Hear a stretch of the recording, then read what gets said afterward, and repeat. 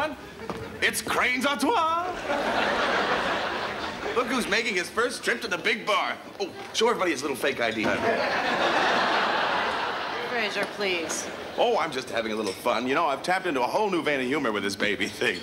Oh, for example, how many babies does it take to change a light bulb? Answer, none. Babies don't have the motor skills or the depth perception to change a light bulb.